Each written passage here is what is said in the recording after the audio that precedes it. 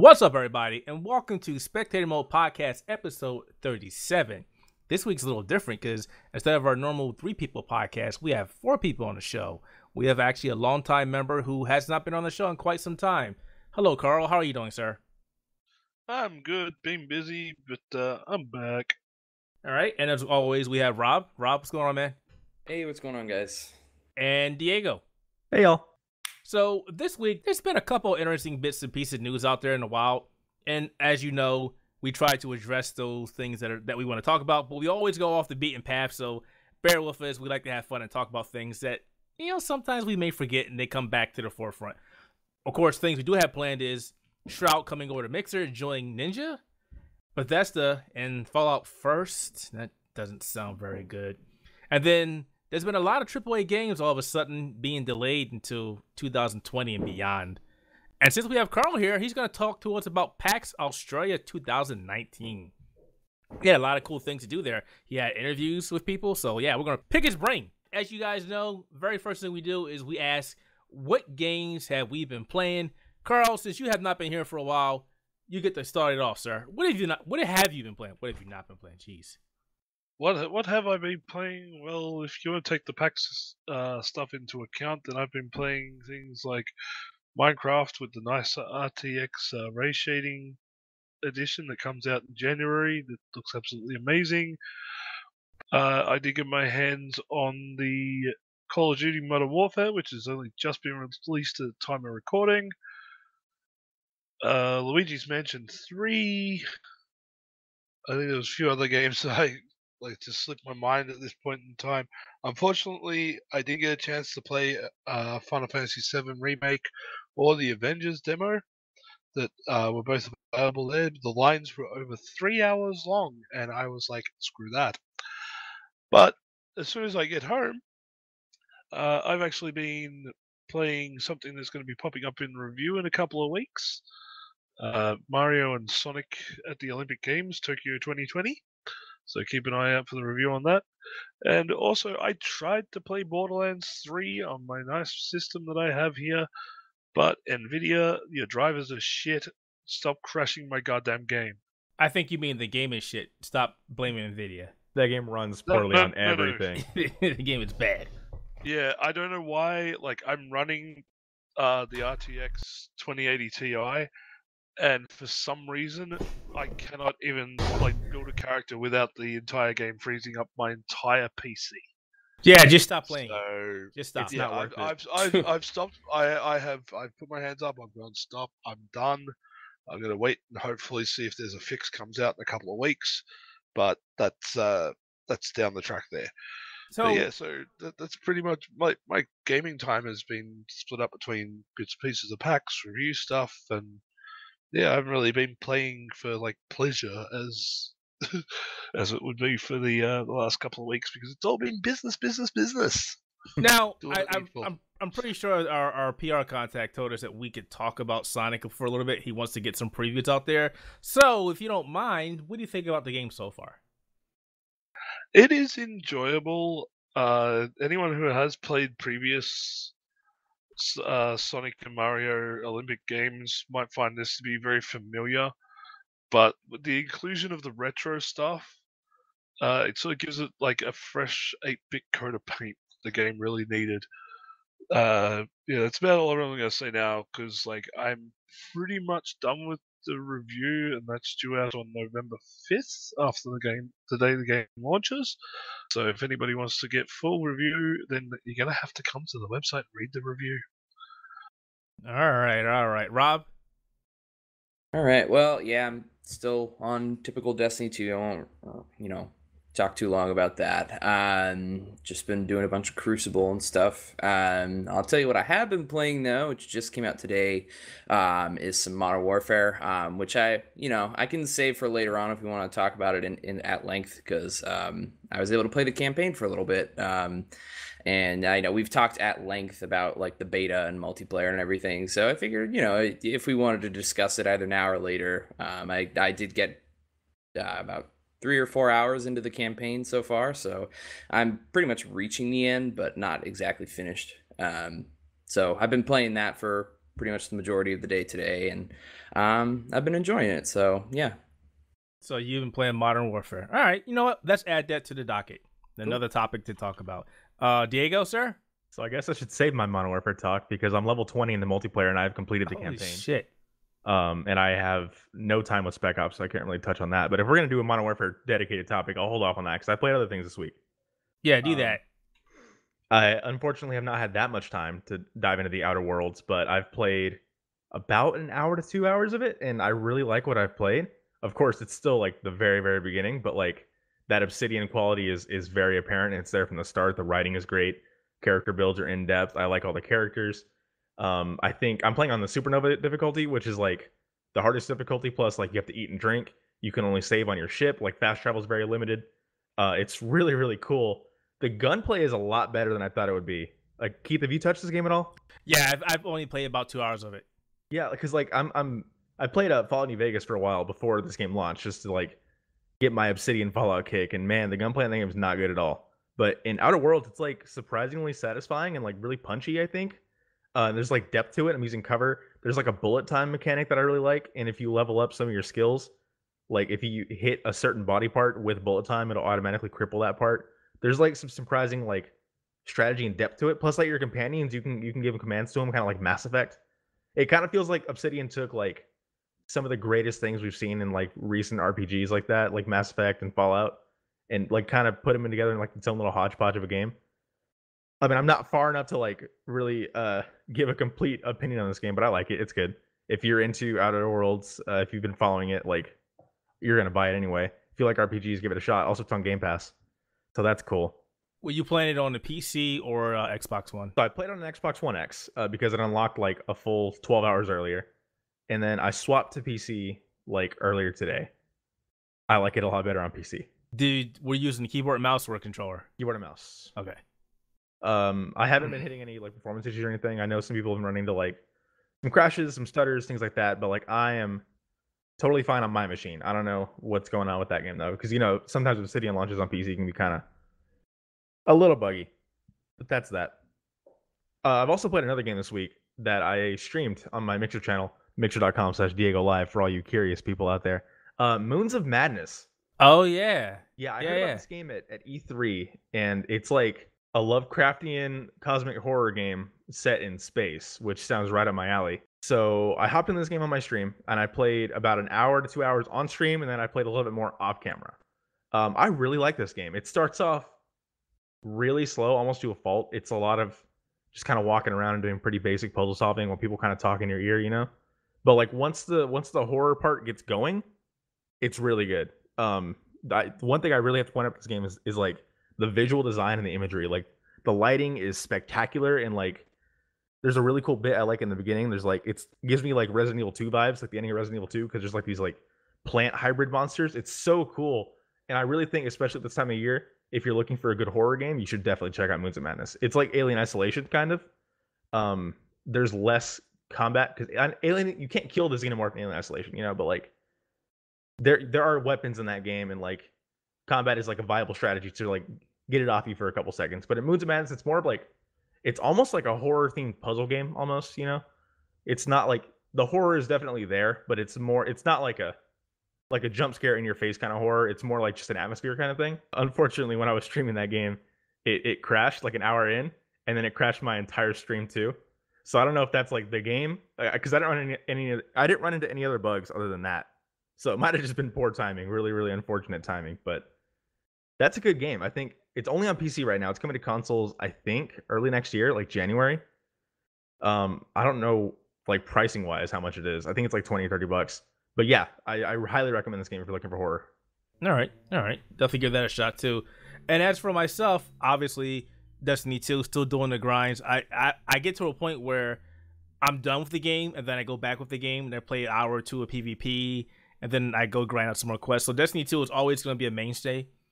I have played about a good two hours of the Outer Worlds, and I've never played any fall games. I've always watched them from afar. My son plays them a lot, so I watch him play them, and I gotta say I'm really enjoying it. I did play on the PC. I started off on my other PC because I wanted to get some 4K footage, and I did encounter two crashes, and I restarted the PC. Then it was fine after that. I did run into some performance issues, but I was running at 4K and cranking it the highest it can go. So it, it does have uh, some optimization issues if you're trying to get the highest uh, visual quality from it. But other than that, when I dropped it down some some of the settings, it ran just fine.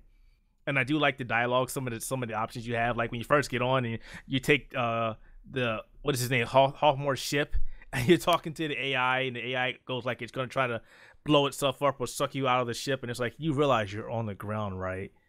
It's just some of the, the tongue in cheek humor is actually really fun. That said, I accidentally did kill two of the guards before I made my way into the town. They weren't too happy about that, and everybody tried to kill me on sight. but uh, other than that, yeah, the game is actually really interesting. I- am going to play it through. I'm not playing on the hardest setting because, again, I've never played any of the Fall games, so I wasn't really sure what to expect. But yeah, I'm, I'm enjoying the game so far. I'm definitely enjoying the game. I, I really Uh, love how like skill checks are at the forefront of that game. Like, yeah, like in in Fallout, you'll come across like intelligence skill checks or like persuade skill checks, but in the Outer Worlds, like pretty much all of your options are skill based, and I think that's really cool. It reminds me a lot of Disco Elysium, which is another game I've been playing a lot. But I talked about that show last week, or that game last week. I also like the fact with the skill checks there, it, it gives you the bonus. So it's, you have a bunch of different options, then you have the ability to use one of the skill checks. So I like that. I really like that a lot. It gives me a freedom. Um, other than that, it is October. Obviously, we're getting closer to Halloween, so I haven't done it yet. But I'm looking at a couple games I'm going to possibly stream. Alien Isolation being one of them. Dead Space 2, Resident Evil. To, you know the mainstays because it is scary, spooky time. But other than that, that's all I've been playing this week. All right, folks. So Mixer got another one about a month ago. They was it a month or maybe longer? I, I don't remember when exactly. was in August. So August, okay, so- two months out. So Mixer picked up Ninja, obviously for his celebrity status, but they recently picked up Shroud, who was somebody we talked about previously because we said he was one of he is or was one of Twitch's biggest streamers. You know, sure Ninja has the celebrity status, but Shroud is known for being really good at his games, having a really good uh, stream, very relatable, can talk to the people. He's he's he's good. He's awesome. Yeah, I think he was the most subscribed on Twitch, not necessarily the most followed, or he was up there. He was definitely up there. And now he's on Mixer. Two days ago, he's just he said he was going to Mixer, and he's at Mixer now. And obviously, the the question is once again, what exactly is that going to do for Mixer? And I'm pretty sure the consensus here is it's not really going to do much. Am, am I in agreement here, or am I wrong here? I think it'll do things just not in the way people are thinking, because it's not going to bring in viewers if that's what people are thinking here. It's not going to bring in this mass exodus of viewers from Twitch, but it will bring in streamers. I think. I think every every big name you get on on Mixer legitimizes the platform because when Ninja came, we didn't necessarily get in because you can go look at like Streamlabs. They do a a quarterly report of like streaming stats for all the big sites.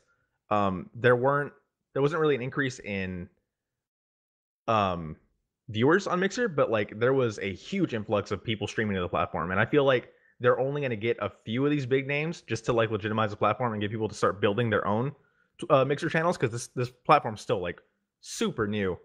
Um, and then in a few years' time, we'll have these like names that are big, but not necessarily on like Twitch big name levels because Twitch is like huge. Twitch is ginormous. But like Mixer is like fa- facilitating their own partners. You know, like they have their partner list right now, and they're nowhere near Twitch yet. But like people are going to come, and then these these channels are going to grow naturally on on Mixer. I think. And I don't Yeah. think Shroud's the last one either. I think we're going to get Oh, these on a semi-regular basis. Yeah, I don't think he's the last one because remember I said that they also picked up. They didn't really make a big deal about it. They picked up somebody from Facebook Gaming, but I don't think Shroud is going to be the last one from Twitch. I doubt it. But the question I have now is, do you think Microsoft or Mixer is being selective on who they bring over, or is it just a game of we have the money, let's bring over whoever we can to get more people onto our platform? And I'm really worried about that because I'm gonna be honest here. There are some assholes on Twitch I don't want to see over on Mixer. Well, Mixer has like a very, very they're very strict about their like positivity um thing, you know. They, Well, that's they my problem. a different vibe than Twitch. Well, that's the thing. I, I I hope they stick to that. I don't want them to get to the point where like, you know what, we don't care anymore. We just want people over here. Because power corrupts, and I don't want to see that happening. I think they have a really good thing over here with uh, the um the less toxicity over here. I don't. want and I think like when it comes to like big Twitch names, there are enough to choose from that have the numbers that aren't as toxic as someone like say Doctor Disrespect, for example. Exactly. Like they, they can choose. Like they they're Twitch isn't exactly hurting for big names. Like Mixer has has the whichever one they want pretty much because they have the Microsoft money to throw around. If they were to bring over somebody else, anybody you can think of top of your head, and would they come? Um, honestly, I thought about this. I was thinking because there's going to be more. I think either Pokimane or Summit 1G is up next. I'm calling that right now. Like Summit, check me out really? in like two months. Yeah, Huh? That's I would a say I would say Doc, but like I think they've already asked Doc because like there's some clips of him going around where it might just be him um doing his character and doing his personality, but he said like he's strongly hinted at and like outright said they asked him. He was one of the first ones they asked, and he said no. but he's also a very toxic. uh, That's the yeah, thing. but he's So, also very anti-mixer publicly. So, yeah. Well, anybody says that until but I, I get the bank account. up like next. I think she's the next one. What about some of the smaller streamers that are well known over there, like Cole Carnage and um, Tim the Tatman? I think they should get a bunch of small streamers at once. That way they get more viewers. Like, because when you just bring over Shroud or Ninja, like you bring their audience, but like, it's not worth it when you could bring over like ten medium-sized streamers. You know? And that was the thing I was having a conversation on ResetEra, and that came up, and people didn't agree with. it. And I think they should actually go for maybe some of the smaller streamers. They don't have the biggest subscription base, but they're well known. They're good people. They put out quality streams, and I think there's some merit in getting people that are lower down the totem pole. I think they're absolutely worth bringing over. Yeah. The thing is just like Mixer has that right now because like Mixer's top partners are about that level. They're Yeah. about mid-level Twitch streamers. So I think I think what they're trying to do is like they're bringing in these big names to one legitimize the platform, and they're hoping that these these Twitch viewers that come over to watch Ninja and Shroud, whenever Ninja and Shroud are offline, they'll see because Mixer right in right before the Shroud announcement, they used to have Hype Zone front and center on their uh, Oh yeah, that's on their quiet for a homepage. Which if you guys don't know about Mixer Hype Zone, it's like it auto hosts channels that are in like the top ten of battle royale games. That's gone now. Now they have Partner Spotlight, which shows their most prominent partners. So I think what they're trying to do is like bring in the the Twitch people watch Ninja Shroud, whoever else they bring next. And then The when they're offline, they'll see the partners featured front and center, and they'll click on there, and they're trying to develop their own partners with that same audience. The problem I have with the hype zone being gone is I never agreed with it in the first place, but smaller people were able to get their their yeah, time on I love the hype zone because it's, it's now it's gone. thing with up and coming, which is still there. Like Mixer is a great platform for smaller streamers. Like it's it's great for discoverability, and I feel like Hype Zone needs to come back. Yeah, it definitely needs to come back. It needs to be tweaked, but it needs to come back. Uh, Rob, Mace, you guys have been pretty quiet. I know you guys have some opinions on this one. Yeah, well, I mean, honestly, like I to some extent like the idea that they're grabbing some of the bigger names and bringing them over. Um, I mean, they can certainly do that. It's good for, like you said, legitimizing and stuff. I don't know necessarily what the impact would be if they were to get medium-sized streamers. Like if they were to create like a highlight reel of people you might know and love on Twitch come into Mixer. Um, I don't know if it would necessarily have a similar level of impact that the higher streamers would get because it's just kind of like if you're not part of their niche circle community or whatever like if you pick up like say for example um kuru uh kuru hs he's the he's like a, a speedrunner of of need for speed games and you pull him over to mixer like only the fans from his like chat are going to come over um, it's not really gonna encourage like maybe other speedrunners to come over because it's just it, it's it's kind of like you pick out this niche era area and they, they decide to come over and like they're there for him. They're not necessarily there for other streamers who are on mixer necessarily or you know they might at one point be inclined to take a look around mixer if they want to but it's like i feel like if you grab like some of those like lower level streamers and stuff they're just going to follow their community member wherever they want to wherever they want to follow them and they're going to watch them. I don't know necessarily if it's going to create like this wave of people who follow their favorite streamer but then all of a sudden they're like ah mixer's kind of cool. I like some of the other people on this platform you know? I just feel like it's just going to f- not necessarily force but just make it so that people who watch somebody on Twitch, if they hop onto Mixer, they're just gonna watch them on Mixer. I, I don't see like a huge impact, at least on the lower level of streamers, if they're just gonna all of a sudden decide, eh, you know, I like uh, my favorite streamer on on Mixer. Maybe I'll check around and see if there's anybody else who I'm who I want to watch. Like you know. eh, They're just gonna like look for them regardless. If they want to see a certain other streamer, they'll look for them regardless. I, I, to me, it's not like gonna be I prefer to watch somebody on Mixer. It's just going to be I'm going to look for somebody who I enjoy watching, and then all of a sudden, if they find out that they're on Mixer, then they'll go to Mixer. If they're still on Twitch, then they'll just go to Twitch. I, I don't see this being as super impactful um, for even lower level streamers to just you know bring more people to the platform. It's just going to be kind of like a a forced moving, I guess. I, I, I think. Mixer needs a bunch of those small niche creators because Mixer is severely lacking in variety content. If you don't stream Fortnite, Battle Royale games, or well, that's pretty much it. Um, nobody watches it on Mixer. Like it, Yeah. the drop off is like from however many thousand because Ninja or Shroud is streaming to like one thousand to like less than a hundred. Like it, it, Mixer needs these small uh to medium sized streamers just to pad the numbers out because like if I want to go watch like a game that maybe has a thousand viewers on Twitch that's not as big but still has a following, like it that that could- like Dota non-existent on Mixer, CS:GO not Yeah. happening. Like and those are big streaming games, mostly because they're esports scenes. But like those things, those games don't exist on Mixer, and like they need to bring over those streamers next. I feel, and I feel Yeah. like Ninja they covered their Fortnite bases. Shroud he still mainly plays BRs and FPSs, but like that's still more variety. But now I feel like they need a dedicated variety streamer just to get games up there that aren't normally in the top 10. Like they need they're in drastic need of variety on their platform. Yeah, I agree 100%. I, and I'm in there with you right there because I stream a bunch of games that aren't top games and you barely get any Nobody viewers. watches. Yeah. And like if I go over to Twitch, like one of my older mainstays was Dark Souls 3. There's still a big following for Dark Souls players over on Twitch. You come over here, there's nothing. Yeah, like There's nothing. Mixer right now. Look at the like if I pull up Rainbow Six Siege, that's a popular game on Twitch. Right now, as we as we're recording this, there are 300 people watching Rainbow Six Siege on the entire platform. There's That's only it. 1900 watching The Outer Worlds. There are 100 people watching Borderlands 3. Like it's it's pitiful how far these how how um far these drop offs are. Because you have Modern Warfare right now with 37,000 because Shroud. It's Shroud, Fortnite yeah. with 4,000. Then Mixer also has a huge problem with 24 7 streams that just farm sparks. But that's a whole nother discussion. Yep. Because music Yep. is the top three, and like Forza is just all AFK streams. It's they need new content. They they there's do. only five games that succeed on Mixer. Really, it's they need more. I wouldn't even say it's five because some of those other ones are also 24 channels. So yeah, it's a. And then you got the people that are 24 channels and just switch their game name, and it's not really the game. So yeah, it's definitely a problem. I mean, I, go ahead. I'm I'm all for like variety and stuff, but I just I don't I don't know how impactful it would be if they were just gonna bring up uh, like a few um streamers from Twitch over over to Mixer. Like, how much is that going to increase their variety? Because like.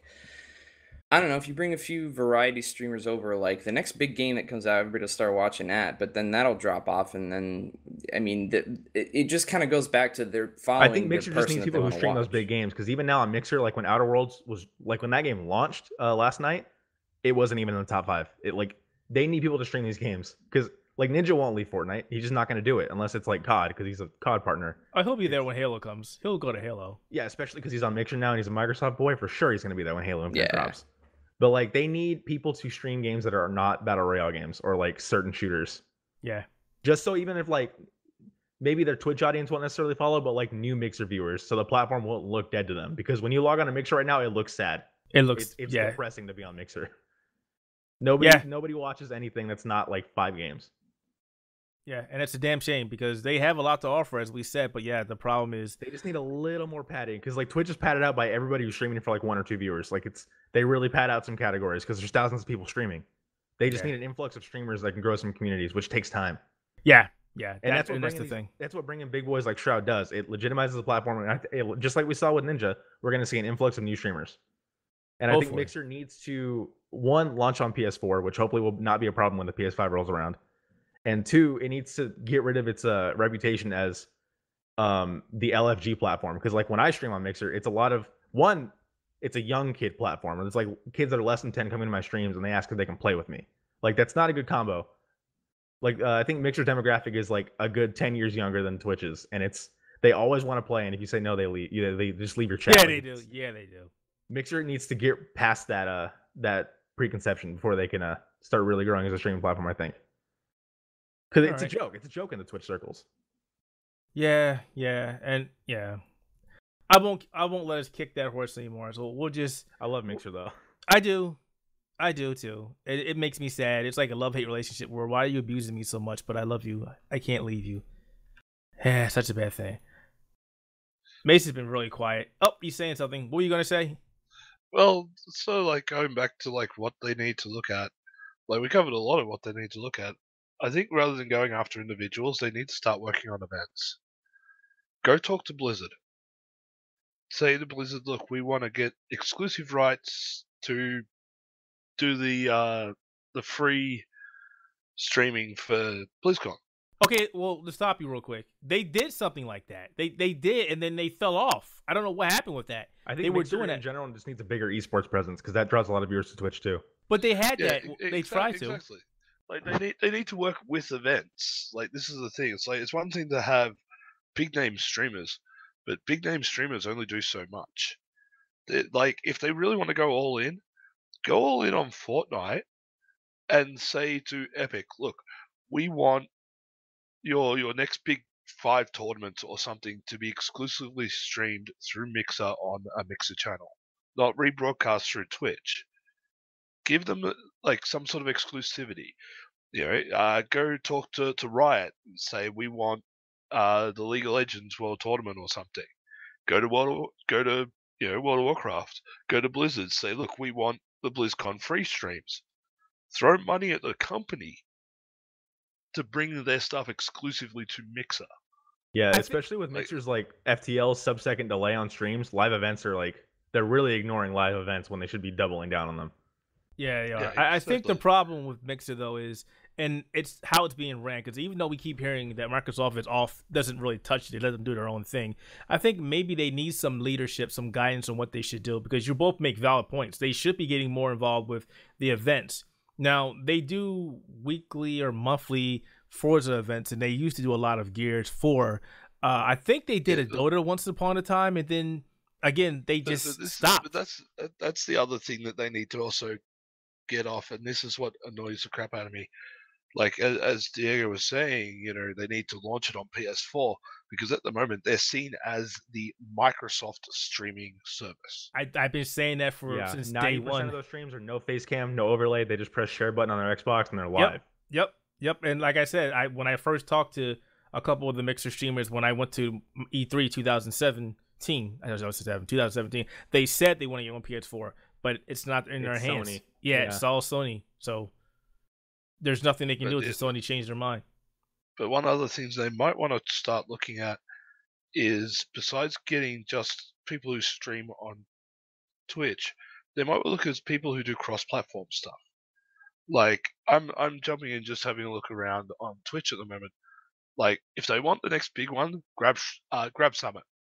Summit's your next biggest guy, and at that point they pretty much crippled the FPS area. Yeah, and on- Summit plays a lot of other stuff too that really Twitch. help their variety. Yeah, but at the same time, it's like I'm looking on here, and yeah, he's not the, he's like in the top ten, but uh, the Angry Joe Show, No. dude's a variety. He, he's a variety streamer. He cross platforms on YouTube. He has a dedicated community, like an extremely loyal and dedicated community who will come with him if he moves to Mixer. But the thing is, he's already working with Twitch. So you need to start looking at people who do cross-platform stuff who have built a real strong community and work with them. Go talk to again, I know I'm going to use a World of Warcraft example. Go talk to the guild method. Say to their guys, hey, you guys as a guild, we will sponsor you for all your BlizzCon events, your raids and everything. Just bring them over the mixer. I will say this: Yeah. if they they approach anybody, they gotta be willing to open up that wallet, that pocketbook, whatever you want to call it, because Oh, yeah, they're gonna they- they, are gonna look they at the gotta- viewership and they're gonna go, "You need to make it work for a while." Well, yeah, they they're paying people a lot. They have Microsoft backing them. So like obviously they're gonna they're gonna I, I don't even want to know how much they paid Ninja and Shroud. It's gotta It's up there, a couple million. yeah. But here's the thing: when is it gonna get to the point where they're like, you know what, we're shelling out all this money and it ain't working? It's gonna come to that Like- point. It, it, it will, and I can guarantee you, it'll probably be about six months. Um, if these guys aren't producing the same type of numbers that they were producing on Twitch within six months, Oh, they're not going to. they're gonna they, they, they're gonna turn around. and They're gonna say, okay, now we're gonna drop you contracts. We're gonna drop you money. Well, not, they can't drop the money. I they wonder how long they, contracts. they've signed these two for. Like, because that's not public, right? We don't know how long yeah, it's for. they, they have not said they're not. They have not because said. on Mixer, they're gonna get like maybe a tenth of what they got on Twitch. It's just, that's just how it works. somebody asked Shroud today. I was watching his stream. No, it was last night actually, and he was trying to get on Call of Duty, but it wasn't working. And he asked him how long you going to be on Mixer. He said, "I'm here for life." So Ooh. take it as you want, or take it as you may.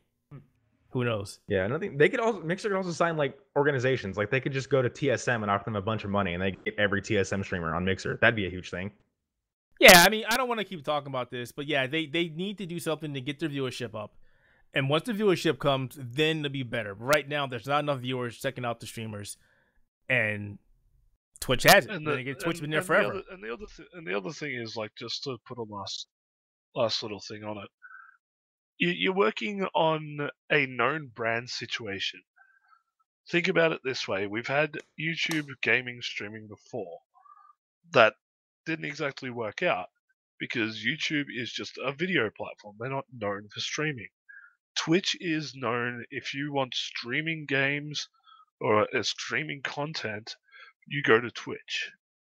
It's it's like you know, um, bandages are known by the brand Band Aid. We all call, call them Band Aids. I buy my Why? generic because, that, because that's because it, yeah, but at the same time, you'll find that you often call them Band Aids Oh yeah, it's like anything. Yeah, we call Because- them because the- band-aids. because the because the brand name Sticks. is embedded in our head. Yep. So when you think streaming, you think Twitch. You think uh, one-time videos, you go to YouTube. That's why these other services have a hard time sort of breaking that stranglehold, is because whoever gets in first gets ingrained in the public's mind. And I think that's the biggest one of the biggest problems that anybody's going to have with these type of services is that you need to break that that brand out of people's mind and go, okay, they're just a streaming alternative. And for streaming, we have Mixer, we have Twitch, we have YouTube streaming. Cool. Okay, uh, Amazon, whatever's, you know. But people are still going, Oh, I want to watch gaming. I'm going to go to Twitch. That's the biggest problem that Mixer's going to have is breaking that mentality. I think the- Mixer the will be way you- fine. the only way you're going to break that mentality is to do pretty much everything that we've suggested so far. you and- need to throw everything at the kitchen sink, and then af- once you finish doing that, go back and do it again. Yeah. Yep. And then- grab, grab, grab the pot of pasta, throw it at the wall, see what sticks. I just think we need to see these these streamer deals happen more frequently because like one every two to three months is not enough. That's you're killing your momentum. We need to see one a month, like at least.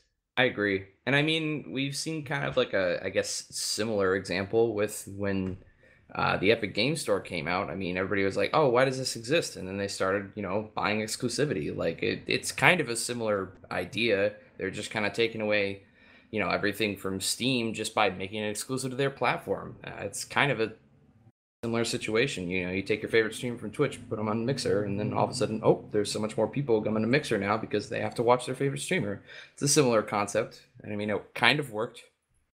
And one last thing before we go, I think And- also think that they need to, um, what's the word I'm looking for? They need to, um, God, I was gonna, I'm, I'm trying to get the correct word out there. They need to incentivize the smaller streamers to stay on Mixer and not get discouraged. I think Twitch has a great thing with the affiliate program. They're adding that though. That's rolling out this fall, like They soon. that needs to come out now. That yeah, needs to come out I, now. I've, I've applied for it on my channel. You so you can like they they're not calling it affiliate, which they need to be calling it that or, or something like that. But the Mixer streamer progression program will let you Yeah, monetize your I signed you're not a up for like when it first when they first announced it, and I'm just sitting like, where's the information? They're they're re- they're being very quiet right now. Yeah, but they did say before the end of the year, so hopefully that'll that'll roll out soon. Because Twitch affiliate stuff is still pretty recent too. That's only like two or three years old at this point, right? Yeah, but people were like, I can't make a partner. I'm going to bust my ass to get the Yeah, affiliate. because right now, right now on, on Mixer, you're either partnered or you're not. That's how it is. You can't monetize your stream unless you're a Mixer partner. Yep. That's that's gonna change very very soon. and that might change. That might plan. change the game. Well, the I- affiliate that's program. stopping me from like really really going down and doubling down on Mixer because like I can't monetize unless I'm a partner. That's that's a that's way too big of a milestone. You know, I need stepping stones. You know, Mixer Academy is a good a good start, but that's just a bunch of instruction manuals. You, Yeah. you need an achievement system. You need an affiliate program and basic things like that. You know, you need to be able to clip if you're not a partner because clip is a partner privilege on Mixer right now. Oh so my god! Don't get me started on that. yeah. What were you going to say, Mace? Before we jump off there?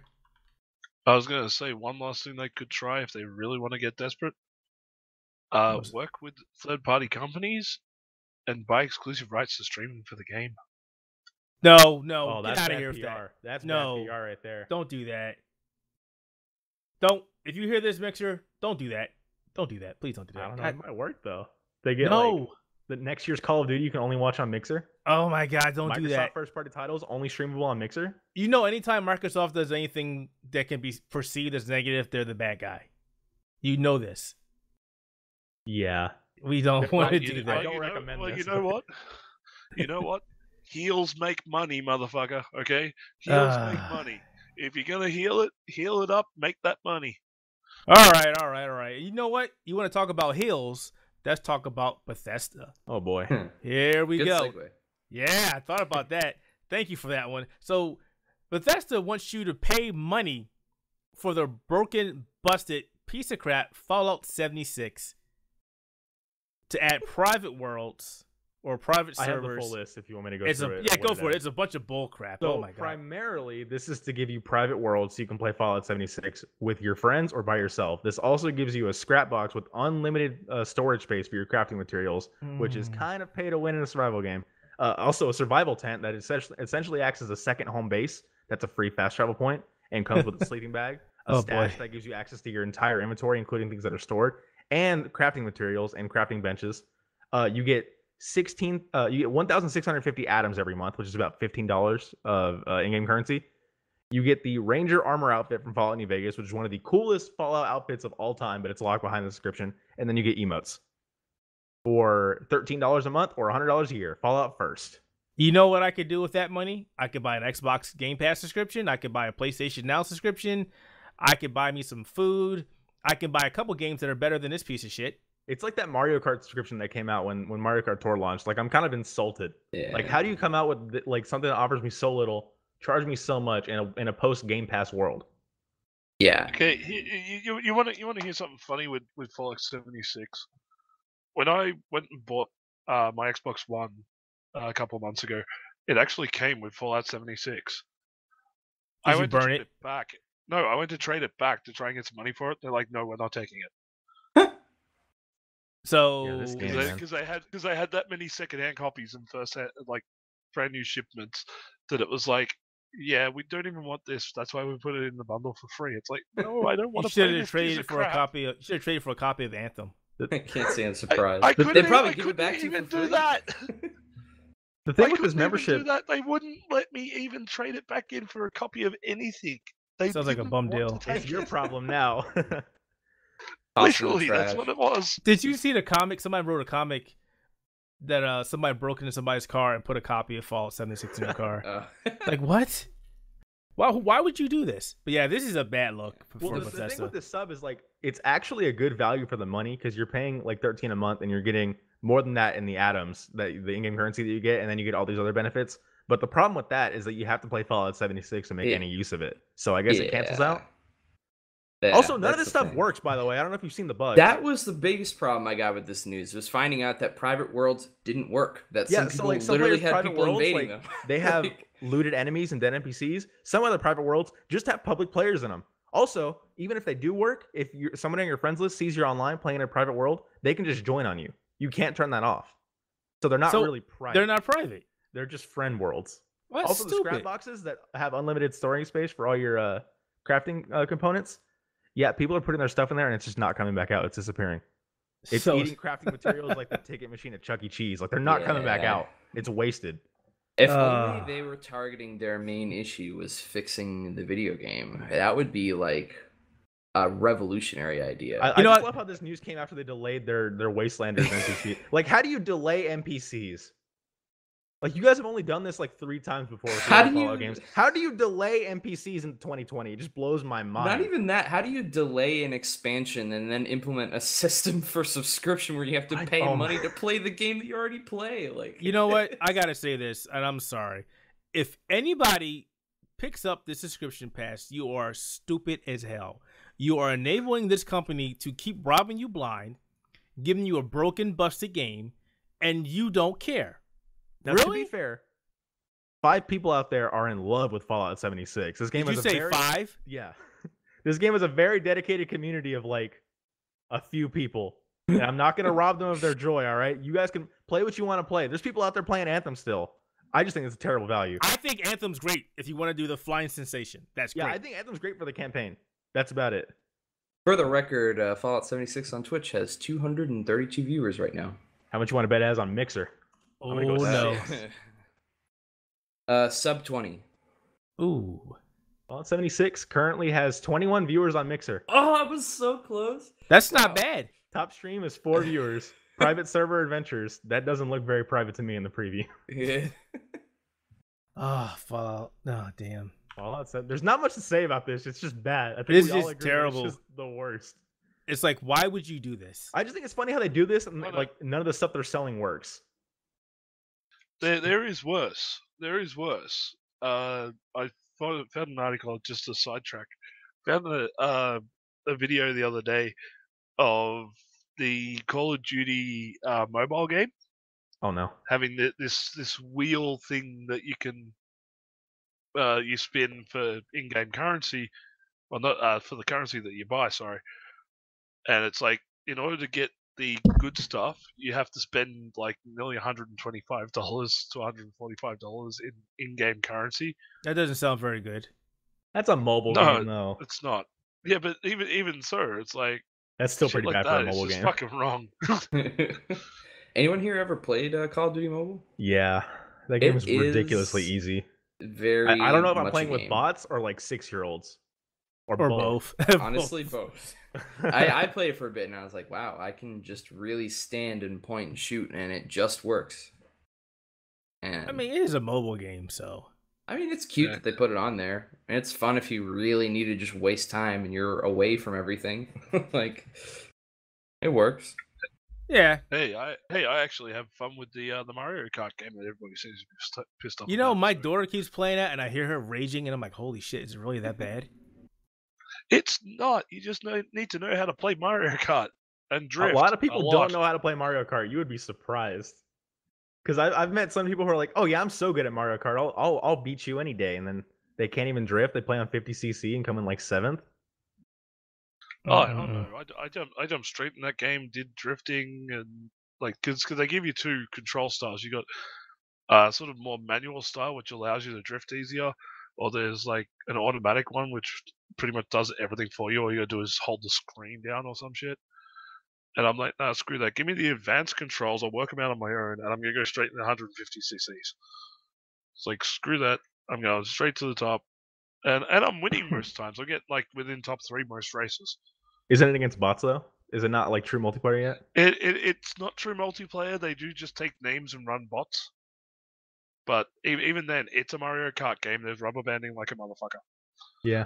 All right. All right. So we all can agree this is a very bad look for Bethesda. Yeah. Y- uh, It Just gets worse and worse. Like you would think after launch, after this horrible, horrible launch, one of the worst launches of all time, they would just lay low. But then the bag thing happened. Then the helmet tested positive for like asbestos, and now we, we have this. Like, just go make Elder Scrolls Six. Just Todd Howard, go back in your hole, hibernate for like five years. Just come back. We'll be fine. All right. All right. Just go So, so we just got done talking about a very piece of crap game that's not very appealing. It only has five people enjoy it per day ago. I think there's only three. But let's talk about a game that has a lot of momentum going for it right now, and that's Call of Duty Modern Warfare. So both Rob and Diego have played this game. I have it because I got it when I bought my video card. I have not played it yet because last night it was a, uh, it was not very good and people couldn't get on. For Yeah, the it wasn't PC working on. PC, right? No, it was not. Servers were down on PS4, but then I just played, played the campaign anyway, so I'm fine. Yeah, Yeah, but servers were before down. before before the, before these guys give it that absolutely glowing review that they, they are going to give it, which I, Uh-oh. from what I hear. Um, here's a quick plug for the website. If you go to the Outerhaven YouTube channel, you can see some like really crappy over the shoulder footage of me playing on PS4 really badly. Thanks, Pax. How many times you get killed? Shitloads. Up. Get better, nub. I I I, Learn to I, play. I, died I died I died more than I like killed people. You do get shot again, from like a lot of places that- in that's that game. though. playing. That's playing on a PS4 as well. So, you know, I'm not really much with the first-person shooters on consoles. I prefer give me good old PC any day. Yeah, th- there's a fair. thing about keyboard and mouse versus controllers, but I won't get into that podcast because I just won't get into it Go ahead, guys. Glorious PC Master Race, Golden Hair. Ah. um. So yeah, I mean, I guess I'll start. Um. I am Game's gonna good, be right, reviewing Rob? this game. Uh. Yeah. It it's it's great so far. Um. I have only jumped into the campaign just because I feel like I have a good idea of what the multiplayer is going to be like. I mean, I can't imagine it's vastly different from what the beta was like. Um, so I figured I'd start with the campaign first because that's usually what I used to do when I played Call of Duty a lot when I was younger. I'd be like, all right, do the campaign and then I'll finish the multiplayer. Um, and so I just hopped in today, started it up, and um, and it, it's good. It's it's interesting. It feels it's like very nostalgic, reminiscent of Call of Duty 4. Like um, it just feels like you know you kind of dropped back in as a soldier. It doesn't feel like everything's like bloated with you know like sci-fi. Like here's a grunt and here's how you kill good. Like it it actually feels relatively grounded. Still feels like Call of Duty though. I mean it's not like this revolutionary wars, dangerous wars, scary. You know, um, you should feel something when you play this. I mean, there are some parts that do do that, but it definitely just still feels like a Call of Duty campaign that you would expect from you know any of the other games, some of the original games. It's very reminiscent of that. Um, so I played about uh, four hours, I would say, uh, the campaign, pretty much on the way to finishing it.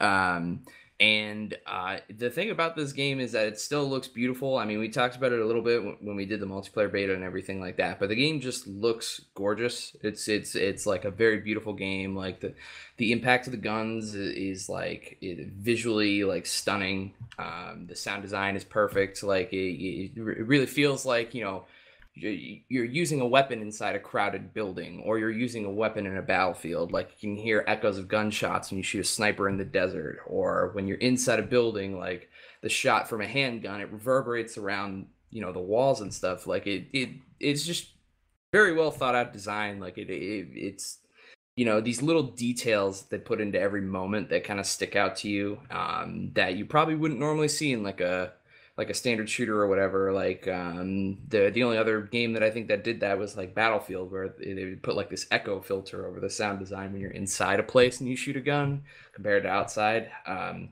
so What uh, very difficulty cool. you playing on? I'm playing on hardened. Okay, me too.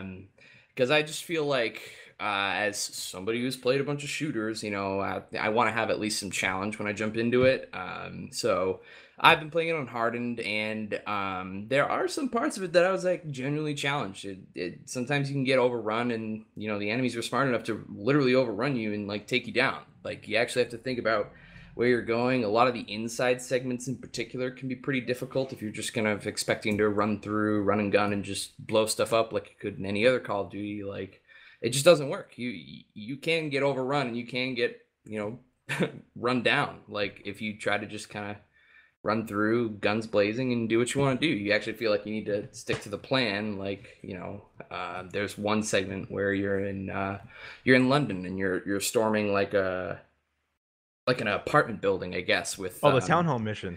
Yeah, yeah, where the like all, all the terrorists are like are in there. It's at night. You have to like storm the building. Um, and it's just like this very slow segment where you you clear the first floor of the building. There's like three or four floors, and then you pop on your night vision, and then everybody just slowly moves up the stairs. It's kind of just like if you ever watched um the movie about the like the bin laden takedown you know? Like it's just this very slow everybody's in night vision everybody's like trying to stay quiet. You're moving up the stairs one step at a time and you're watching the doors. Like it's just like this very tense moment. Um and it, and it's it's it's interesting because it's it's not like you know any other call of duty campaign where you pick up a gun and you run through and there's plenty of that throughout the rest of the campaign but it's like you actually have to stop follow your team watch your corners. If they something say something's clear then you can move up because you can trust your teammates you know to some extent. Um, and and like you actually have to think about where you're going. If you if you just waltz into a room like a dude with a shotgun will kill you and you'll have to restart from the beginning. Like it that's just how it is. So there's actually some thought into you know progressing through the story and you know like certain scenarios and moments of the game where you actually have to think about what you're doing. Like it feels like a tactical like shooter. It's not just you know what people like to associate with call of duty at least you know in the multiplayer aspects and you know as it's seen um but i've been enjoying it a lot it, it's it picks out a few different moments and just kind of like really makes you improvise. There was like one moment in particular that I was like, "Whoa, that that was insane!" Like it actually did something that was crazy. I mean, Diego, you might know what I'm talking about, um, but it's the moment with the flashback. There are a few flashbacks, so Th- I think I know like, which one in particular. Well, there are okay, two of the flashbacks in particular. I'm going to talk about one that I think was kind of tacky, but I think I know which one you're talking about. the the f- I'll I guess I'll just say the one with Farah. That's that's Okay, that doesn't really clear anything up. oh okay. Well, Well, I'm, I'm assuming the first one with Farah then, because I'm you're the you're not 20 as years far ago as- one. Yeah. Okay. Yeah. Yes, yeah. So yeah, that one I was just kind of like, oh, whoa, that's that's weird. And so like it literally like they kind of did like this complete like reverse, like it, it turned into like a horror game almost, or at least they tried to make it Oh, like yeah. that. Like it w- it was kind of cool. I was like, was oh, that that that is very different. And I was just like, you know, like running around this building. It was it's kind of like if you ever play a horror game you get spotted by the monster and the monster chases you. It, it, like creates this moment of tension where like you're playing as this kid and you have to like evade like a full size soldier. Like this dude is massive and you have to like you know run around the little house like you're hiding under like beds and stuff, furniture, trying to like fight back. It, it's it's like this like Yeah, you have to David pick up like Goliath ma- you have to look like, for like screwdrivers and knives and stuff to defend yourself with. It's really cool. Yeah, it was it was super cool, and I was like, "Whoa!" Like, I was not expecting this at all. Like, you know, any like cutscene in a previous Call of Duty would just be like, you walk to this place, and then you watch the scene play out, and it's just like these characters existed before the game takes place, and and this one it actually feels like, oh, you like jumped dropped into a moment where the like actual growth of the character occurs, and you have to play that moment of like tension and and despair, and you have to like you know kind of understand where she comes from why she's so intense all the time that it like this is where it comes from. It, it was just like this really cool moment there's a bunch of like moments spread throughout the campaign that are like that where they just kind of like just for a second takes you out of the typical i can run into a building and shoot my gun real fast and kill everybody. Like it actually stops you for a second and is like remember there are humans behind the guns that are shooting every once in a while and you do have to play out these moments and and you know kind of understand where this character is coming from. And that's also another thing that i like a lot about the campaign is that it actually focuses on the characters rather than just kind of like introducing you to them and then they all you know attack one another. That's what i always liked about the first modern warfare where it was like you're introduced to your player character, which is Soap, and then you, you play with like Captain Price. He's like this like charismatic leader, um, and you know you're introduced to Zakhaev, the the the uh, the main villain. He's got like all these you know um, intentions of just being pure evil. You know, typical you know Call of Duty campaign. Here's a villain, go get him. Um, but like they actually introduce characters in this game, and you actually focus on, on that a lot. And it's like you know you play it, your player character actually speaks, and it, it drops in between several different protagonists and stuff, and they give you kind of like towards the end like this whole like squad mechanic, and you're familiar with everybody that you're working with to complete your mission. Like it's it, that's what I appreciated a lot about it was just that you know it's not just like here is a backdrop where you can blow stuff up in it.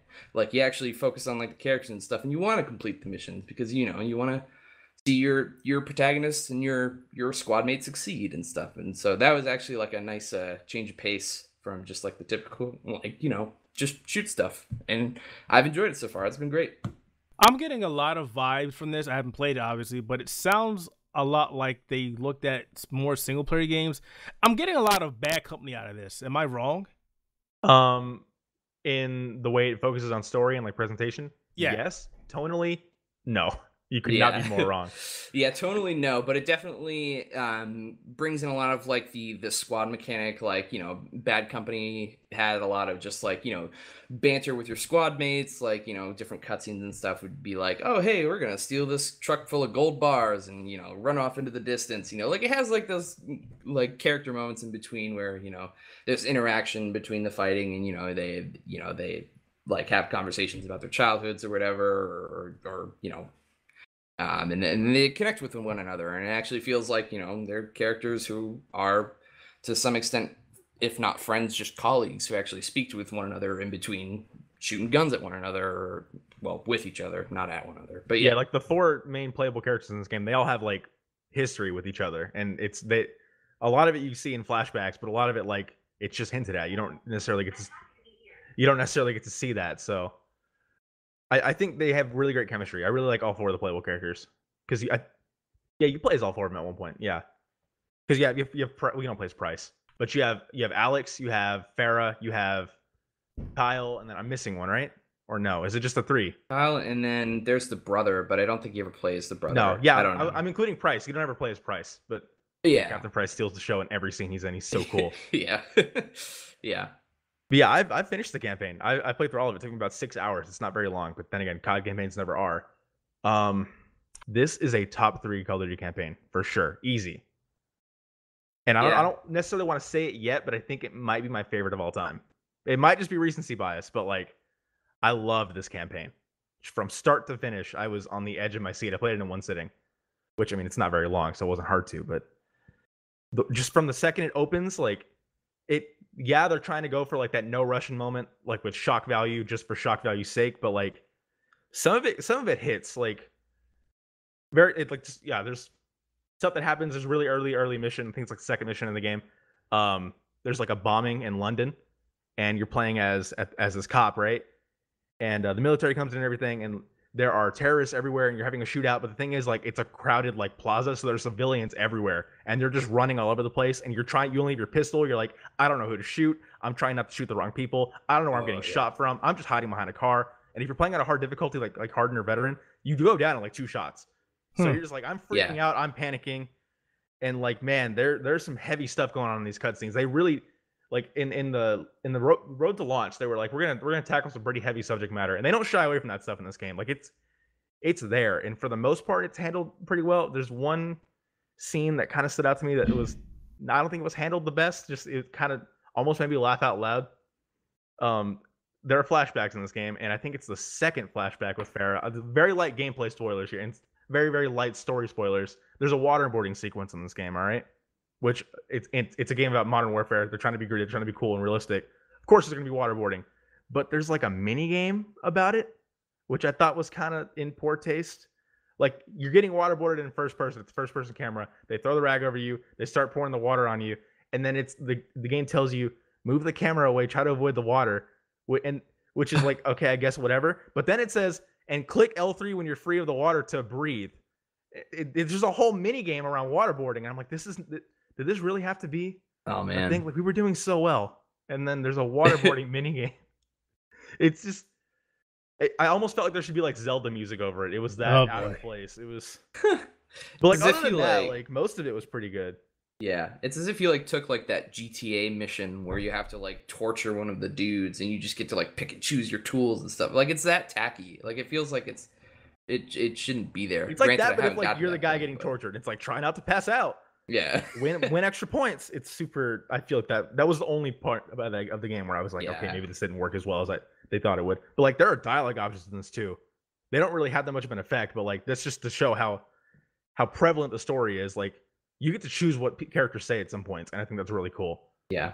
Also, another thing I wanted to um, talk about because you brought it up is that um, kind of like the ambiguity when you're fighting other like enemy combatants because a lot of the times especially in that in that first like london mission mission where you know the bombing goes off everybody's in a panic like this game does a really good job at making all like combat scenarios um, just about as difficult as it would be if you were a real soldier and i mean to some extent that might not be true but like it really hammers home the fact that like in war it's very difficult to tell who's your ally and who's your enemy like a lot of the times like especially during that london mission like you know the terrorists are wearing black the cops are wearing black like some of them might be wearing like a, a bright yellow vest to symbolize that they're. Some of them know, are regular clothes. They just have a gun. It's really hard to tell them yeah. apart from civilians. Oh yeah, very very true. And like a lot of the time, like even in some of the other missions, like when you're you're fighting with like a rebel group in in a lot of this game as well. And a lot of the time, you'll look around a corner, and if there's two of them, and you don't look at your your ally right away, like the the highlight that will say that it is your ally, like the name or like their their rank or whatever, won't show up right away. So if you look at them and you shoot the wrong person, like you can commit friendly fire. Like it is just a thing that can happen sometimes. Like it it it can get to the point where if you, you know, you're not like right on target like thinking oh this could be my enemy or this could be my ally if you don't make that decision right like you can't kill your ally like it they all are just like designed so to the point where they're very similar, and it's just you know they're trying to add that in as kind of like an effective hammering home. Like you know, war is war is dangerous, war is strange. Like you know, you can never tell who's your ally or enemy. Like a lot of time, you have to be vigilant, and so like a lot of that would happen too, where I'd like look around a corner and like, oh, that's an enemy, and I like go to like shoot at them, and their little name pops up, and I'm like, oh, I'm sorry, did not mean to do that, but it yeah, it I like that a lot about it too, where it's just kind of like you know, You have to be like, focused this- at all times, pretty much. Oh, yeah. Otherwise, like you can get easily caught up in the action and not know what's happening. Yeah.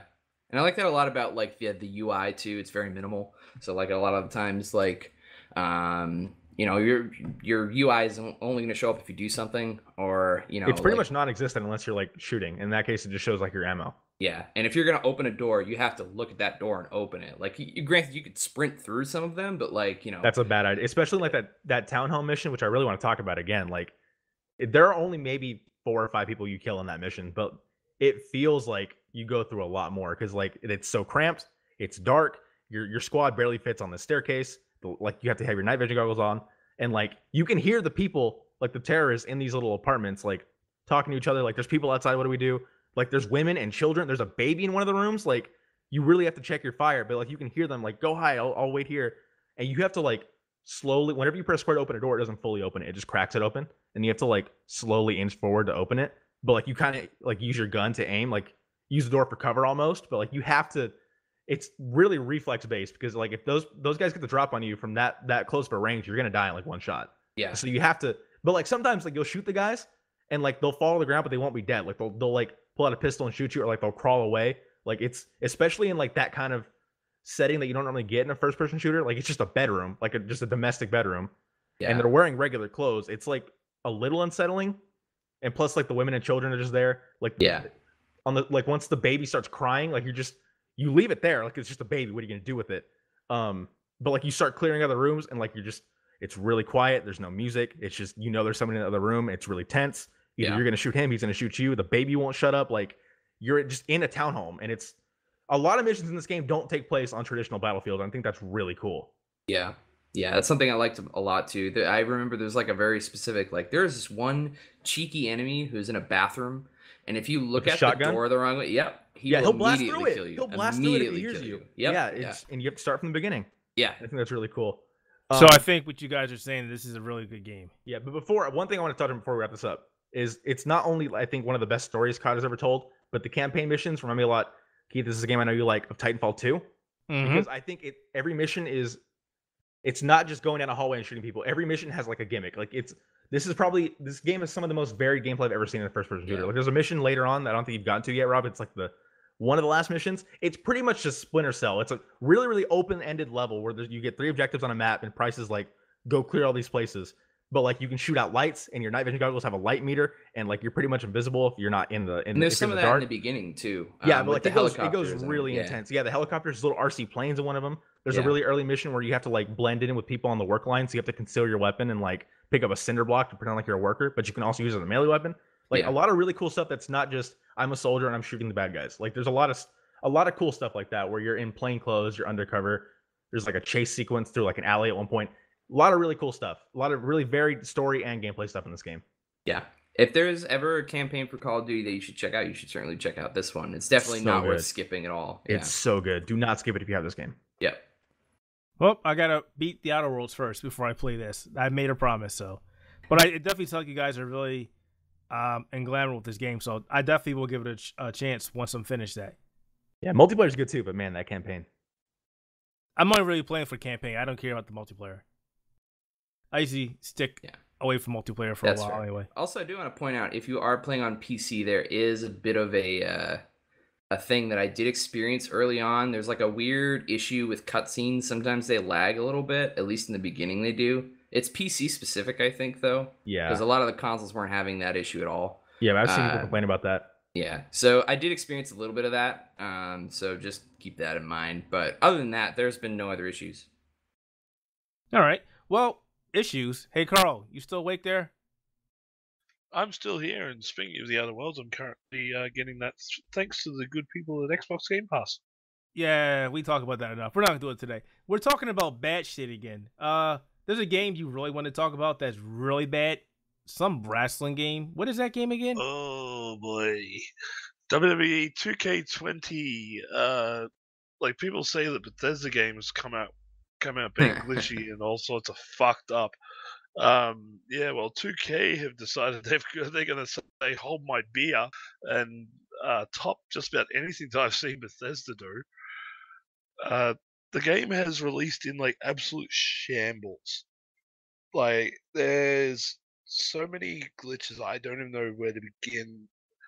The physics engine is broken. The graphics engines are broken. The uh, creator wrestler is broken. Image uploading doesn't work. Uh, games will crash on anything from a standard one-on-one match to trying to do universe mode or the new story mode. Uh, God, what else is it? Like just about everything is absolutely broken about that game, which really saddens me as a wrestling fan because I usually go out, I'll get the uh, deluxe or um, collector's editions of these each year, regardless if 2K sends me a copy of the review or not. And this year was the first year I have actively turned around and said, I'm not buying it. I went and I cancelled my pre-order the other day to get the, the money back on it because the game is in such a destroyed state. And to be honest, and it also took them nearly a week to put out a statement saying we're going to get this fixed. And even then, it's like huh, you might have to wait a month or more for the corrective patch. So Yikes.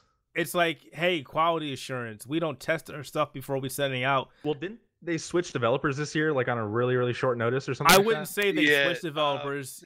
The, uh, the developer that they've used for the actual game engine and control engine and everything else, uh, Yuke's Creative, they bounced. they they bounced. They were like, "We're done." We've had, we've had enough. We're going to walk off somewhere. I reckon that they're um, quite possibly working on other deals with other companies that have recently popped up in the wrestling circles. Uh, maybe AEW might be having something in the works. Who knows?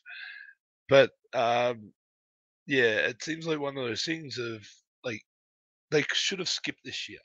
Like it's that bad.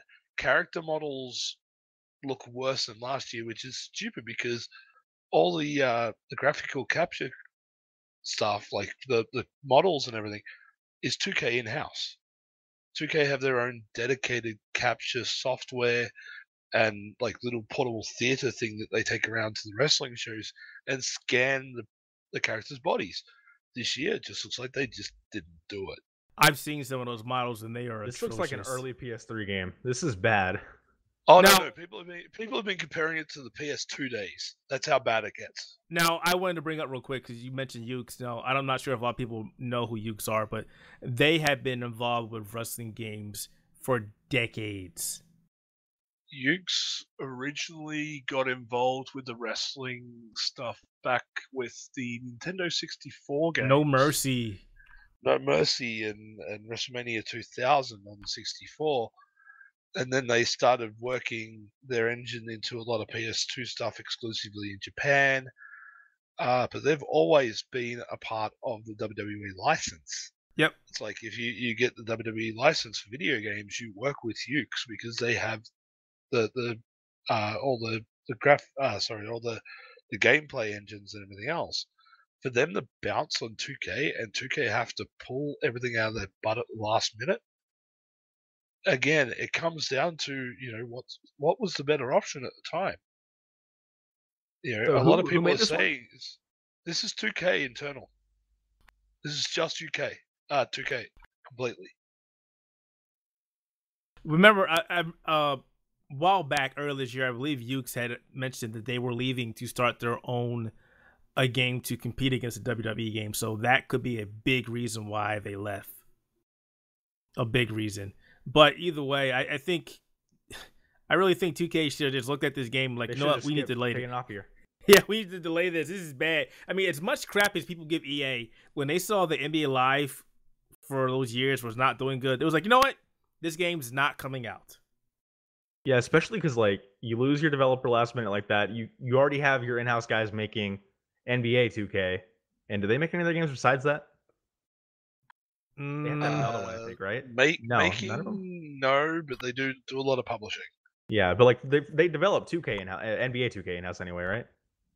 Yeah, Yep. I believe NBA, so. two- So like, NBA yeah, 2K is all in house. yes, they're gonna split development on that. I mean, of course, NBA is gonna take priority, but like, just just take the off year for WWE. I don't understand why they would release it at this state for sixty dollars. It just makes no sense to me. If anything, this does more damage to the brand than the money they're gonna make off of sales. Pretty Yeah. much. And Yeah. consider considering that the backlash on this has been so bad that I know I can uh, can confirm that Sony is giving refunds for the digital copies. of the Wow, really? They never give refunds. Yeah, That's, Yeah, That's so- crazy. Sony, Sony are openly giving refunds. Oof. Um, this game was a forty on Metacritic. Yikes. yeah, uh, it got two out of ten on IG, uh, two out of two stars out of five on IGN. The Metacritic score is just absolutely terrible. I have yet to find a reviewer that actually says anything positive about this, and that includes all the guys that are like um, Tony the Pizza Guy on YouTube. He's one of the big supporters. He usually gets a lot of the pre-content, like he gets previews months, and months in advance, and everything else. Even he said, "Stay away from this." Like guys that are dedi- dedicated YouTubers and streamers. I'm on watching some videos of it. Have turned have turned Yeah. around. this and is said, terrible. Stay away. Like um, NL Gaming, who does nothing but wrestling games, they're playing it for a little bit, but even they're sitting there going, "I'd rather be playing 2K19 again." Like that's how That bad wasn't it really that good. Yeah, well, 2K19 wasn't like it's not the best game, but it, it's like functional. Yeah, I it love works. this video where the guy's bouncing across all the ropes. What? what? I'll wait till you see some of the creator wrestler stuff, man. Oh my god, Oh god. man. This The just thing that- looks atrocious. Yeah. The thing that's bonkers to me is how do you get like the the wrestling ropes wrong? Like how do you make those teleport across the stage? Like those are mostly fixed. Like how do those break out of the environment? like I just don't even it, it- the ropes have always been an issue in wrestling games because it's all collision detection, and like you can't really predict the way a rope is going Ooh. to bounce based on the collision. What the hell is up with this ref? But some of these, like some of these, are just really bad, like the ref, and uh, there are like some where they'll hover like two, three feet above the ring or something like that, but they'll squat down and, and walk, like, like like a little squat walk thing. Oh yeah, I've seen a few wrestlers lose their oh. kneecaps into the ground. Yeah. It's it's bad. What about these graphics? Why does The Rock look worse this year than he did last year? What? Yeah, this is bad. I like I don't know that like they have no reason for the game to look terrible. Like gameplay wise to be terrible, okay, that was Yuke's. Okay, we can we can definitely straight up say that. But the fact is the visual stuff, They have as that bad still, right? it is, like that's in house. that's all still that's have all the in models. house. Just use last Yeah, year's that's all stuff. in house. Holy Man. shit, this is bad. Yeah, guys, I'm I'm gonna take a page from Gameranx. Not that I care about them. Before you buy this game, don't, Yeah, not even before. Just don't. don't, just don't buy Dude, this don't game. buy this do game. your- do do your research and to be honest, if you're gonna buy it, wait until they do like a, a complete edition re-release, probably sometime after Christmas, but before March. That might be the time because hopefully they buy last year. to fix the shit. This is terrible. yeah, this game is wow. Oh no. It's really bad. You hate to see it. this is wow. Here, I'm gonna send you guys a. Just watch that at that segment. Just wow. Okay. I really wish we were using the video podcast or so you could see this. Oh, but this would this have been is a great opportunity for that. Look oh at that. wow, why are the ropes doing that? why, They're what, why are they flying in the air? What? Yeah, this is terrible. Oh What is oh, yeah, I happening? saw. Don't buy this game. Yeah, don't buy that game. Please. Damn. Buy literally anything else. Well, not Fallout 76. well, Honestly, at this point, I don't know. that game's not sixty dollars. yeah, when, when when when you said earlier, you know, Fallout 76 is bad, I I'm sitting here smirking, going, "Oh, I know something that's worse." Okay, you win. Holy crap, you win. You know what would have helped this game? Delay. A delay. You know what else was delayed? All these segues, Keith. These great games. I'm doing. I'm getting better at this, aren't I? Ooh, ooh. All these Yeah. good games. So let's count the games that have been delayed from 2019 to 2020 and 2020 and beyond. So we talked about Doom Eternal moving to next year. Rip. We now have the Lost of well, The Last of Us Two now, or Last of Us Part Two has been delayed until May. Yeah. Watch Dogs Legions has no release date now. They push it to the next fiscal year, so that pushes it at least one month uh, ahead of what it was. Oh, jeez. Because it was due out in March. Their fiscal year starts in April. And they because they want to polish the game. Uh I'm pretty sure And there then, was um, something else. There was a Rainbow- couple I, I believe they delayed Rainbow Six Quarantine as well into the next Yeah. fiscal year. Mhm. Because man, that game is supposed to come out like in January, February, and I haven't even seen anything af- about it after E3. And that And was I'm- only a short teaser at E3, so I don't and know I'm- that game's yeah. I'm teasing people saying Final Fantasy don't get delayed, and they're getting mad at me. That's not happening. No, They're giving me those they looks like, that "Don't you Oh, dare!" no. themselves now. they, they were they were playing 4D chess. They got everybody else to delay except for them. All right. I don't know because the Last of Us Part Two was like, "We Yeah, got this. They It's just coming announced out." their date like two weeks ago, like February. It's Plus, happening. The press got to remake play it. has yeah yeah. I was gonna say remake has had a lot of gameplay demos. Like this this better be The Last of coming Us Two out. press got like six hours of hands on. Yeah, They that's played what I'm like saying. a lot of that game, and, And then they're now like, delayed. February. Pre I pre-ordered my collector's edition. Now I'm not getting it until May.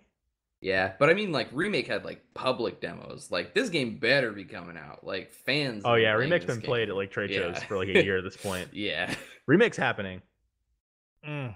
Uh, it's just so annoying because I literally was I wrote a piece of it published today that was just like a list of the games that you should be checking out, and like Last of Us Two was a big one on that list, and I was gonna put it up there because it's like you know it's coming out right in between everything. Yeah, remember like two weeks ago when we were like, man, February is so packed. Like this spring, all these games are going to compete with each other. And it still is for It- sure. it's still just is. Oh, yeah, less still is. now. Yeah. All of pretty much all of Ubisoft's spring presence is gone. They delayed Yeah. that. Yeah, Ubisoft, their investors 'Cause they would've cannot be had happy. Rainbow Six, they would have had Watch Dogs, they would have had Gods and, Gods and Monsters within like a month of each other. And those those are all gone now. Last Gods of Us is out of the picture. I don't think Gods and Monsters got a delay, did it? No, it did. It Oh, it did. did. It was pretty much all their all their uh, spring titles for the next fiscal year. So they could be anytime in late 2020 or even early 2021. All right, gonna have to update that. Yeah. so now all we have is like Cyberpunk remake, Doom, Final All that Fantasy. have. Doom, Animal Crossing. I mean, compared to like what it was before, we lost Yeah, about yeah, almost no, half of the yeah. of the spring releases. Which is Good fine. news with like, that, spread them though. out, please. There's good news. At least you know Capcom came out and said, "Hey, Monster Hunter World for the PC is coming out in July or I mean, January." January. January. We confirmed it. We we reaffirmed it. It's coming coming out. out in Man, you know, some of us have like been done with that game for a long time already, Shut up. and have reviewed it. You can go read that on the outerhaven.net if you're. I want to play it so bad. While you're waiting, PC players, just go read my review. You know, Ah. but you know what? It'll be worth it because 4K, enhanced resolutions, they are enhanced textures. then you gotta Uncapped look for frame rate. monsters too. No, they showed one of the monsters that was in the uh the first the first DLC. What do you want to call it? All Release, they added whatever. was just the one. Yeah. Well, that's better than nothing. Hopefully, it means they'll be give us all. launch? Because I don't know. I, I feel like they've they've they've promised a lot of things for Monster Hunter players on PC, and they have underdelivered. I wouldn't. I wouldn't. See, here's the thing.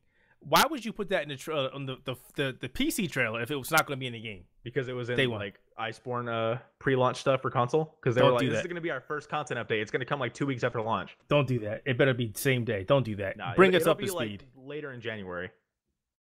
Yeah, time. That's a big expansion. You'll be fine. There's too many games coming out. There are way too many games coming out. I won't have I'm, enough I'm freaking glad these time. games got delayed. I'm gonna say it. I'm glad they're pushed back because I my schedule was looking really rough. I mean, I was gonna play them anyway. I, I will make the time. I just rather not. You'd rather not. Let me pull up the release schedule actually, because I want to see Oh, what yeah. we got now. Oh, they're still there's still plenty There's games still a lot. There's January, absolutely you a got- very handy article that you can check out on the outerhaven.net. Oh, right is now there? that- there is. Um, Well, uh, Where is, that- that, is, that, is that accurately updated? Because you know, I feel like there were some delays that happened since then. Other than Gods and Monsters, everything else should be accurate.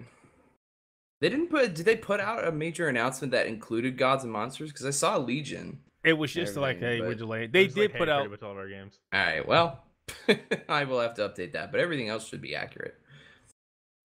Um, Oh, and their and their stock plummet twenty percent when they did that. Oof. It happens. yeah, that'll do it. Yeah, but in January you got Monster Hunter World Iceborne on PC.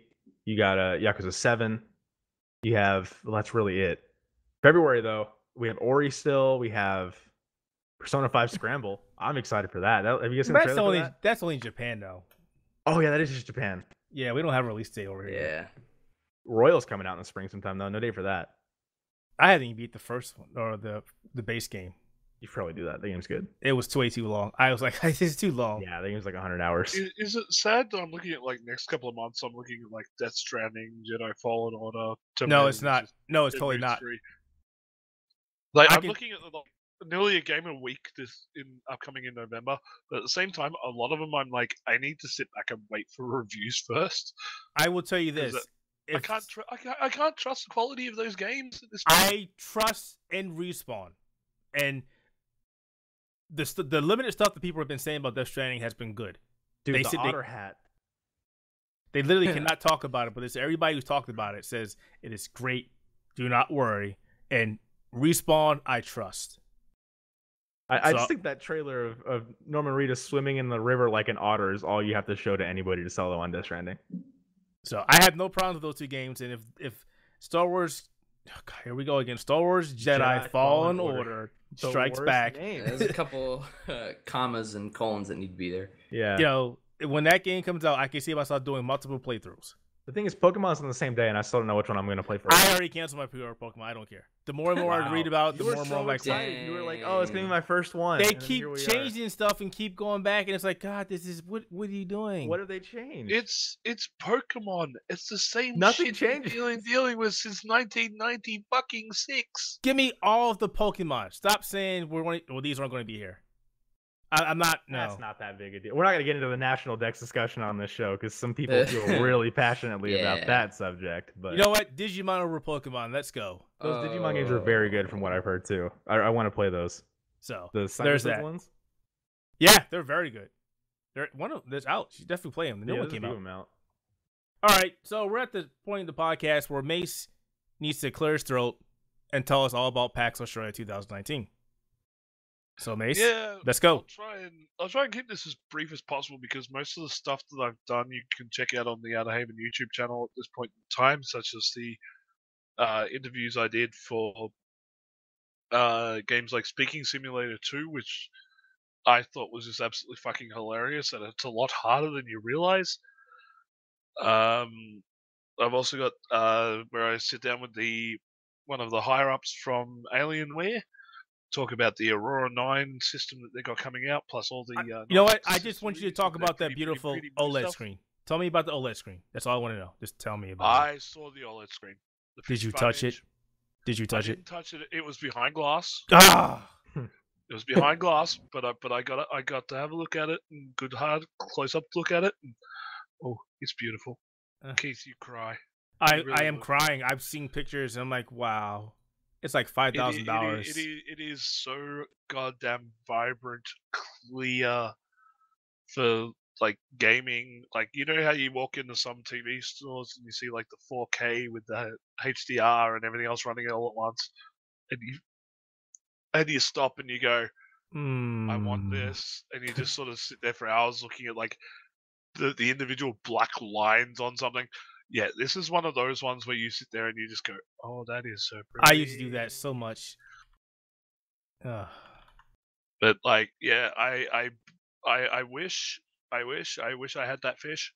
Um, who knows? Maybe the nice people at Alienware who have said that they're going to be sending me a lot of stuff over the next twelve months might be able to send me one of those to sit there and play with. which- In which case, I'd just be like, ah, We gotta get a YouTube channel and get hundred thousand people because you know YouTubers get all the good hey, shit. they, they, no, they love us for what we are, mate. They, they don't worry about our YouTube stuff or anything like that. They are very happy with us as a website. One of the few companies that still work with websites. So tell me about um, Cyberpunk.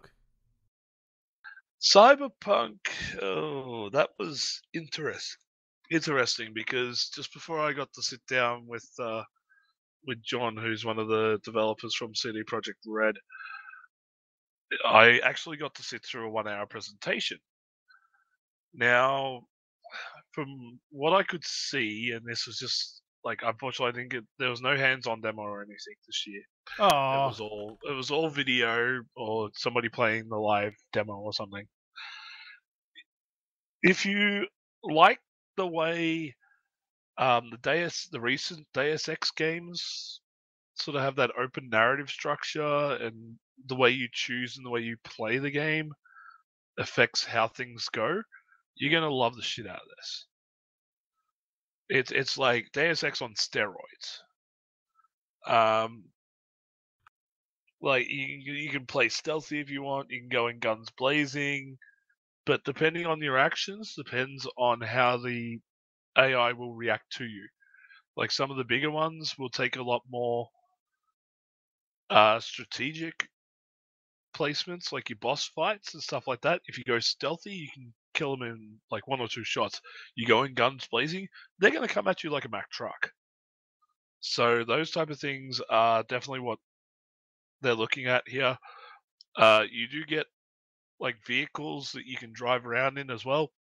Very big Akira anime uh, references in this. Like one of the bikes is literally Kaneda's red bike from the Akira movie. For those who who watched the anime back in the day, uh, I, I do try to get into a bit of uh, talk with John with the the interview, uh, but we we try to talk a bit of like behind the scenes, like development bits and pieces. I did try to get a spoiler out of him, but for some reason the video glitched out. Um, so yeah, you, you can sort of see as much as I can.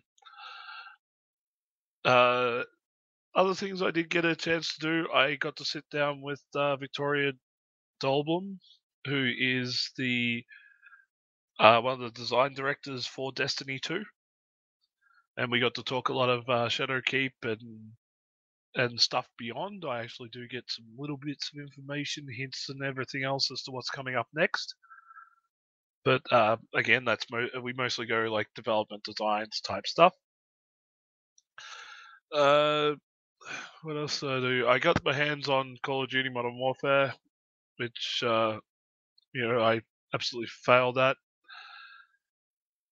And yeah, like unfortunately, like a lot of the stuff that I did, you're gonna see on those YouTube videos, which you can find over the Outer Haven YouTube channel. I couldn't really get in on a lot of stuff I wanted to get in on, which was stuff like the Avengers and uh, the Final Fantasy VII demo because they were just packed. Um, even something like Overwatch on the Switch, packed. I could not, no matter who I knew, who I talked to, I couldn't get into a lot of stuff that I really wanted to do in advance this year. Uh, that sort of soured me a bit because I was in contact with Sony before the event, and unfortunately, they just didn't get back to me in time with anything like to get in and do stuff. So I'm very thankful to the guys at Alienware, the guys at Bandai Namco for hooking me up with the Cyberpunk interview and everything else. Uh, the guys at Nvidia taking care of me as always. Uh, Devolver Digital, and yeah, even the guys at Activision for allowing me to play Call of Duty. Uh, I did spend a lot of time also in the board game and card game area. I went and bought my first set of D and D gaming dice, so I'm now officially big time nerd. Whoa, wait, wait, wait, wait, wait! Your first? My first, which turned I'm in into disbelief. three separate sets. I'm in disbelief. I would have thought you would have had some once upon a time I, ago. I had I have never owned D and D dice sets, which is like the seven dice that range anywhere from uh, three siders upwards to the twenty. I have never owned any sets of those at all. I ended up going uh, to Random Encounter Dice, who had a, a booth there. I saw a nice uh, red and white blood pattern set. I bought that.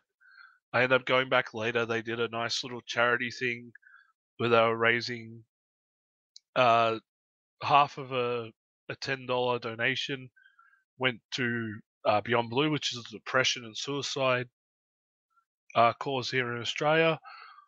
And you basically rolled a d20 and whatever you won off a prize list. So I ended up winning two more sets of dice. Huh. So All I did that. I did that twice because you know it's it's a charity thing. I I like giving to charities. Uh, but yeah, I also got to see my guys down at um, Bushiroad Card Games who were doing Card Fight Vanguard, and they actually gave me two two free uh, starter decks to get back into the game. And yeah, uh, went around, marveled at the the uh, the history of consoles that they have there, like some of the old stuff. They actually had stuff like the development kits for the Nintendo 64 and uh, Dreamcast, like the old the actual dev kit units, not the actual production models. So it was amazing to see some of that stuff this year. Uh, overall, look, PAX is a good show, but I think, uh, at least as from media perspective, it's getting a lot harder to do stuff. But yeah, I try, and the results, as you can see, they come back to the side. I think what's happening now is PAX Australia and PAX in general are just becoming more popular. Like PAX East just had its tickets go on sale yesterday, and I know Saturday is completely sold out. I think Friday may have sold out today. I'm, I'm looking at it right now because I just bought tickets for my family. So Friday's low, Saturday's completely sold out. But yeah, PAX is definitely getting a lot more popular. ReedPop has been putting a lot of effort into getting the show uh, out there. That said, you've been going to PAX Australia for the last three years now. Uh, What- this was actually year seven. Oh wow! How many? Um, no, no, see, so which one has been your favorite so far, or has it progressed and gotten better over the years, or is it stagnated? No, in a way, yes, it has stagnated because it's the same people show up each year, but at the same time, they're always bringing something different.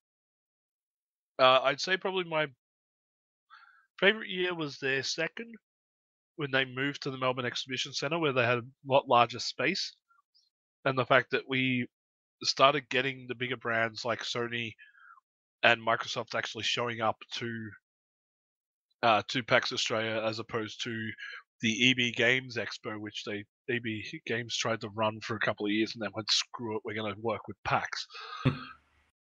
so, uh, yeah, probably the second year was probably one of the, one of my better ones. But just in case my fiance listens to, to this one, it was one year ago where I asked to marry me in front of the Bethesda booth. Oh, you're just trying not to get your ass beat. Oh fuck yeah! you know what that's like, Keith. Oh yeah, I do. All right, well, uh, I'm glad you enjoyed the show. I'm, I'm looking forward to PAX East next year, and Diego's going to PAX South. Yep, PAX South in January. My first So- PAX. So yeah, they're, they're they're becoming a lot more popular. So yeah, Rob, where you located at again? I am East Coast. Where? East Coast. So like yeah, uh, where? like near Boston. Well, you're going to PAX East then, right? Uh no, I can't afford it. You, Rob, I can't afford it. what do you mean you can't afford it? I can't afford it. Media passes. You can't afford what? To go to PAX? Yeah. We'll get that. We'll get that covered. If that's the problem, that we get that covered, yeah. then you'll go to PAX, right? Because I'm coming up there. Yeah, I would go. Yeah. Oh hell yeah, we got that. Then we're going. There we going. go. There we go. I guess I'm going to PAX. We're all going to PAX. There we go. All right, so we've reached the end of the podcast. Um, as always, we usually have something that we forgot or something that just crosses our mind the last seconds, or anything that you guys forgot about. Um, any parting words of wisdom other than don't buy WWE 2K20. I can't believe Ghost Recon Breakpoint was so bad. Ubisoft delayed three video games. wow. You okay? They said it on the call, not me. That's just straight up facts. That game is awful, and they delayed games because of it. Because our game sucked, we're gonna make sure these other games don't suck Because as they bad. were they were gonna borrow elements from Breakpoint that people didn't like. Hmm. Yeah, well, yeah.